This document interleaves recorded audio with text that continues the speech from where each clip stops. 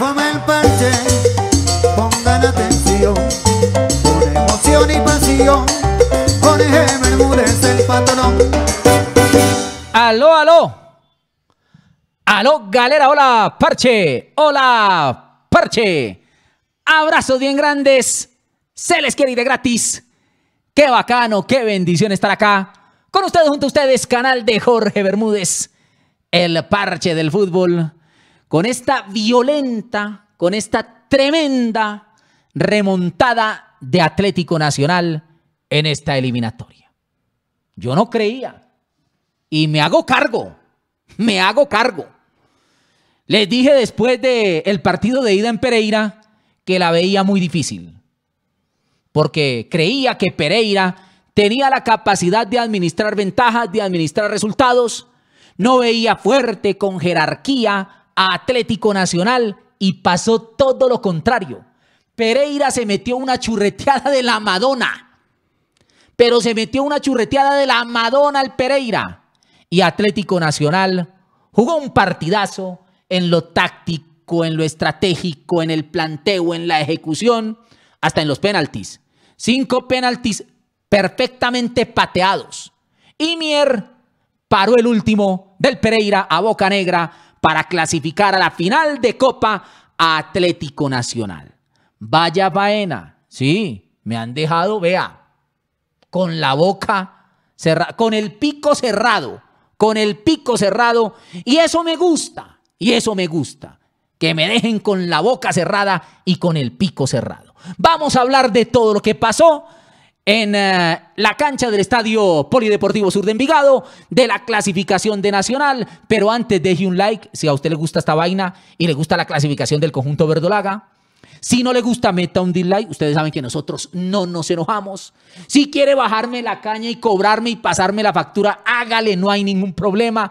Pase la factura, baje la caña ahí en los comentarios, opine lo que usted quiera y suscríbase a este canal, que en este canal se pasa bacano, bacano, bacano. En la página principal hay una barrita que dice suscribirse. Usted pincha ahí, activa las notificaciones y se pega al parche del fútbol. Eh, bueno, ya hice el mea culpa, ¿no?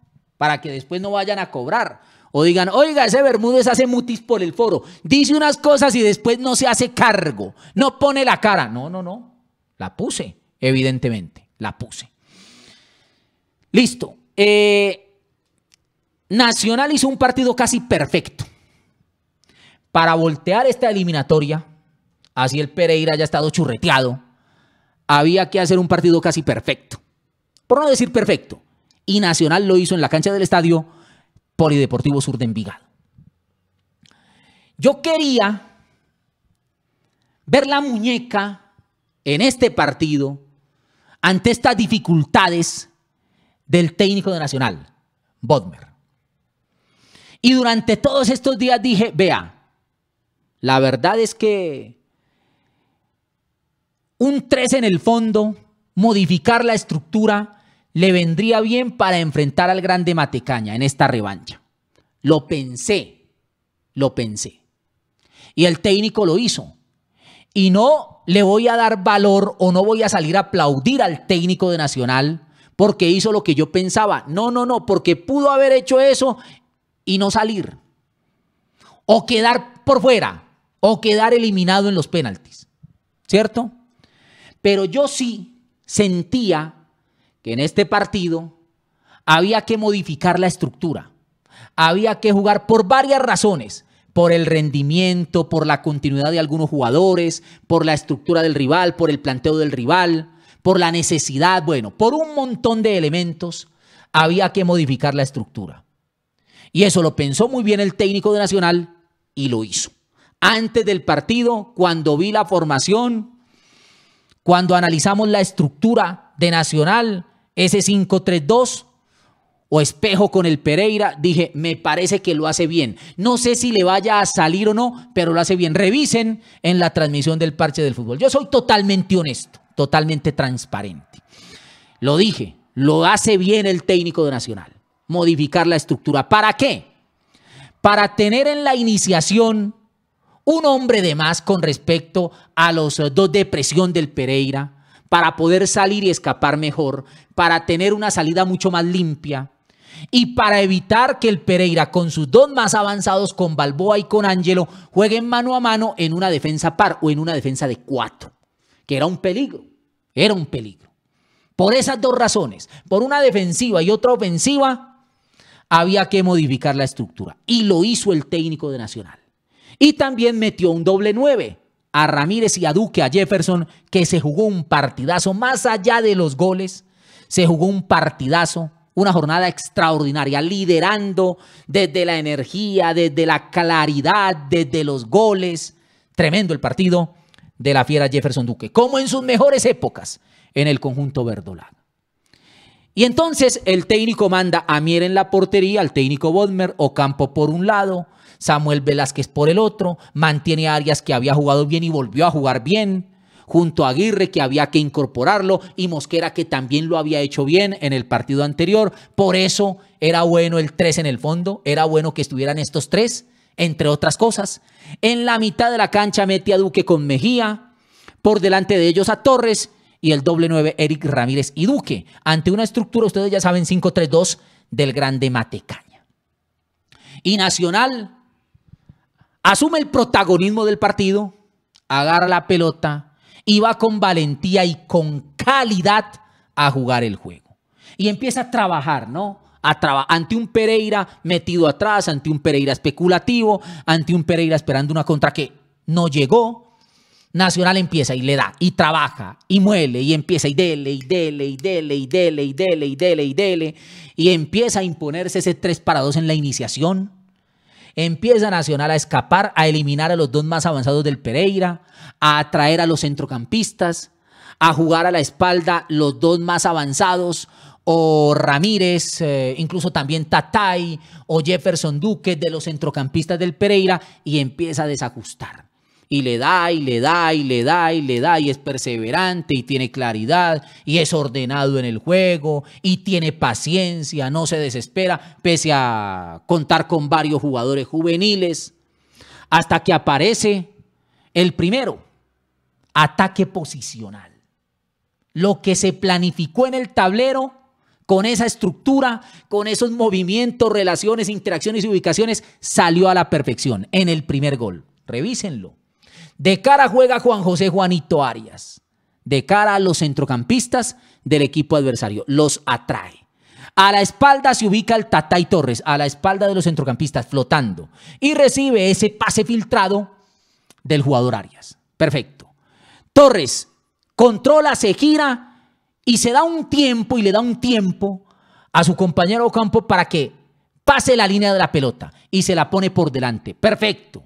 Y Ocampo, que venía con, ah, con impulso, a un toque, mete un centro perfecto, preciso, perfecto y preciso para Jefferson Duque. Pero antes, el delantero venezolano Ramírez fija y atrae la atención de dos centrales del Pereira, de Garcés y de Quintero. ¿Para qué? Para dejar libre o para que esté libre sin la presencia del centrocampista o un centrocampista rival, Jefferson Duque meta un cabezazo abajo y convierta. Ya estaba eliminado de la jugada el policía Ramírez. El policía, porque estaba en la zona de la pelota basculando hacia la zona del balón, estaba eliminado de la jugada. Había que eliminar a otros dos centrales para dejar libre, de los tres que tenía el Pereira, para dejar libre a uno de los dos delanteros. Eric Ramírez hace ese trabajo de atraer a los dos, de juntarlos de llamar su atención y dejar libre a Duque, que muy bien hace el movimiento de círculo, se desmarca dentro del área, ataca la pelota, ataca el espacio libre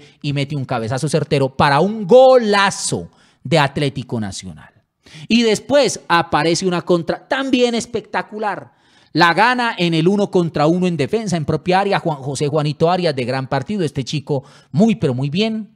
Se la entrega a John Duque. John Duque juega con Jefferson Duque, que mete un tacón espectacular para eliminar cualquier intención de presión o de anticipo de la gente del Pereira en campo adversario.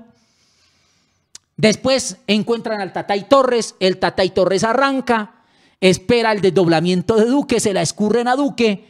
Y Duque pudo haber pateado convertir gol, tirarla por fuera, estrellarla contra el portero, pero vio muy bien ubicado a Eric Ramírez, se la dejó servida, Eric Ramírez definió para alivio de él, Quintero le ayudó porque si no hubiera hecho un ridículo tremendo si hubiera perdido el gol.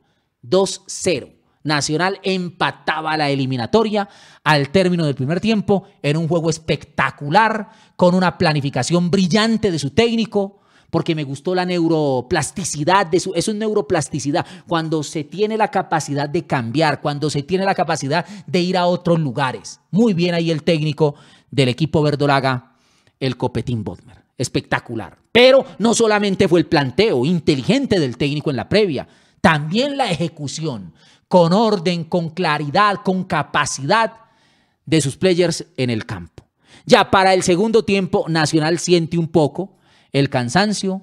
Pereira tiene una escapada, marca mal uh, Sergio Mosquera eh, y Balboa pone otra vez ganador al Pereira en el descuento. Dos goles por uno. Listo. Pero Nacional tenía fondo de armario, metió a Deosa, metió también a, a, a Dorlan Pavón, el técnico, Bodmer para rematar el partido, para ir a por el empate en la eliminatoria y lo encuentra en otro buen centro. Primero hay una combinación por dentro entre el Tatay Torres y Nelson de Osa, pelota al costado y desde el costado mete un centro, sí, sin obstáculo, pero mete un centro muy, pero muy bueno, espectacular el centro. Dorlan Pavón preciso entre los dos centrales del Pereira, ahí se ubica perfectamente el jugador Jefferson Duque, se levanta, mete un cabezazo al rincón y convierte el 3-1 para empatar la eliminatoria. Jefferson Duque on fire. Jefferson Duque encendido. Jefferson Duque como goleador y líder de Atlético Nacional. Y se puso 3-1. Y ya al final, pues realmente jugó el Pereira al empate. Nacional no quiso arriesgar mucho. Fuimos a lanzamiento libre desde el punto penal. Y en el punto penal Patearon cuatro muy bien del Pereira, patearon cinco muy bien de Nacional y Mier paró la última boca negra al rincón para darle la clasificación a Atlético Nacional. Nacional metió categoría, Nacional metió táctica, hizo un partido casi perfecto, el planteo, la ejecución, la reacción, porque le hicieron un gol y estaba perdiendo y el equipo reaccionó y ya en los lanzamientos libres desde el punto penal, redondo, ¿no? Cinco pateados, cinco convertidos y uno parado para clasificar. Redonda la presentación, felicitaciones y aplausos. Vea, yo soy crítico de Nacional, ustedes saben, soy crítico ácido y ustedes lo saben, pero no le quito nada a nadie y no distorsiona la realidad. Cuando es excelente, digo excelente. Y lo de Nacional no fue excelente, fue supra excelente, fue brillante. Esta remontada vale la pena catalogarla como brillante, porque fue brillante. No le voy a quitar nada a nadie, ni al técnico, ni a los jugadores, porque no soy mezquino. A mí no me gusta que me quiten. Más allá de las diferencias que tengo y de las críticas que hago a este proceso y a la actualidad, fundamentalmente dirigencial de Atlético Nacional. Pero cuando hay que decir que se ha hecho una prestación brillante, que el técnico ha sido brillante y que los jugadores también han estado brillantes, hay que decirlo, sin pena, sin distorsionar, sin acomodar absolutamente nada y sin ponerse rojo en lo más mínimo. Extraordinaria la prestación de Atlético Nacional con una categoría eh, tremenda, porque no era fácil remontar un 2-0. Y lo del Pereira, penoso, triste y lamentable, porque jugó un muy mal partido, estuvo muy brujo y llevaba una muy buena ventaja y llevaba una gran ventaja a la cancha del Estadio Polideportivo Sur de Envigado y la verdad es que, como dirían en el barrio, se cagó, se churreteó, se churreteó el grande Matecaña, lo que no le quita ningún mérito a Atlético Nacional que puede verse las caras con millonarios en la final de la Copa revancha, será Millonarios, opinen ustedes. Más confianza, más tranquilidad les da este Atlético Nacional. Los leo en la caja de comentarios. Se les quiere de gratis. Que empiece la opinadera. Yo los leo. Un abrazo y chao, chao. Sí. Chao, chao. Chao, parche.